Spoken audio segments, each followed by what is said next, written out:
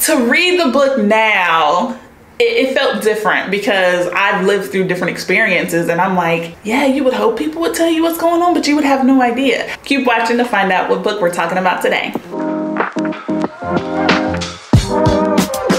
Hey y'all, it's Kyla Denanyoh and you're watching Kyla's Reading Day. Today we're talking about the book, Leave the World Behind. This book was written by Rumaan Alam. The genre of the book is fiction. The theme of the book is literature suspense.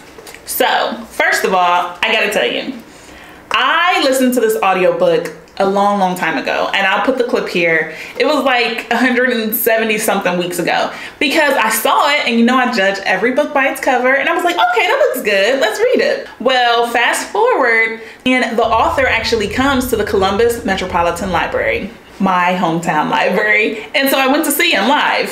So that really made me pick up this book again. Back when I read the book, I wasn't doing book reviews. So I don't feel bad that I didn't do the review then, right? But I did reread it and I, I would reread it, right? So we're gonna jump straight to seven. I would reread this again because this was exceptional. It was very, very good. So let me tell you some things that I picked up in rereading that I don't know if I paid attention to the first time I read the book. So for one, it was this quote. You never know when a time is going to be your last because if you did, you could never go on with life. So that quote is so important because this book is full of detail and what you would think is minutia. This is what we picked up at the store. This is how much a package of crackers cost this all of those little things that you're like, yeah, we do that. We go to the store, we buy this, we buy that. But then later on, these people are dealing with this event. They have no idea what it is, but they know that it shatters glass, shuts down cell service. And when you get extra people in the store and they're eating the cherries, they're drinking the wine, and you're like, I just bought that wine. Why are they, you know what I mean? Then it becomes more relevant when you have to share it with other people. And to read the book right now, after everything that happened in 2020, and you're just like, I definitely had a different appreciation for the lack of communication. The fact that Amanda and Clay were desperate to know what was happening and they could not find out anything, right? And to be honest, had GH never showed up, they never would have known. They would have just been on vacation and not had TV, right?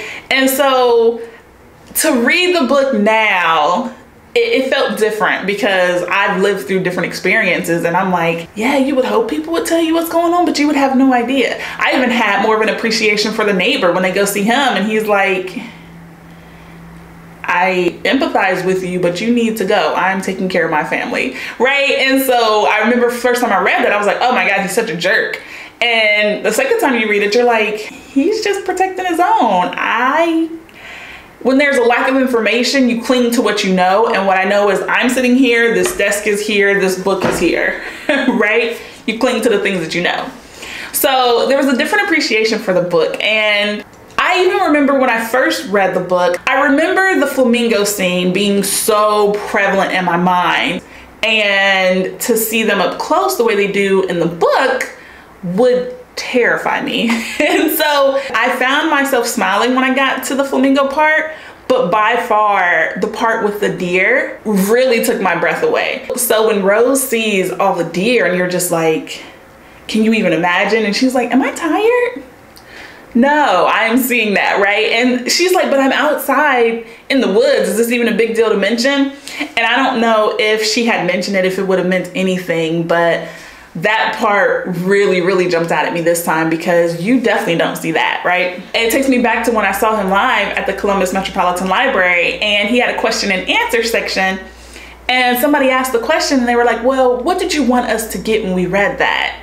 And he said, and I, I remember it, I can hear him saying it, it's not what I wanted you to see every reader has a different story, different background, different experience. You are to take the words that I wrote and see them in a way that makes sense to you right? He was like, I could never write a book if the whole time I'm writing to be like, I hope they see this. I hope they think he's. I write the words, you see them, you take the story and decide they're the protagonist, they're the antagonist, they're the villain. You do that. I can't do that.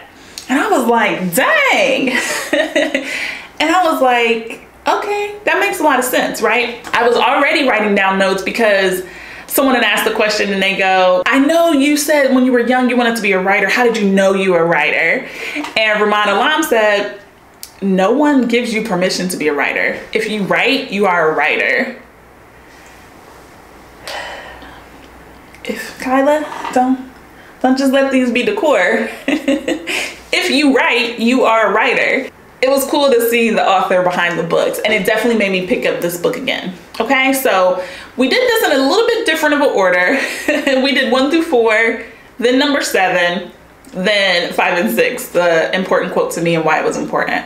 But I will tell you that I definitely enjoyed the book, Leave the World Behind. I definitely enjoyed seeing the author live, seeing him talk, and I really was captivated when I reread the story and I was like, okay, this is pretty cool, right? Now that my experiences have changed, I saw the book in a different way, all right? So let me know.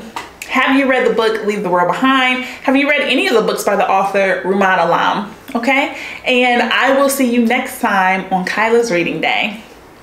Bye.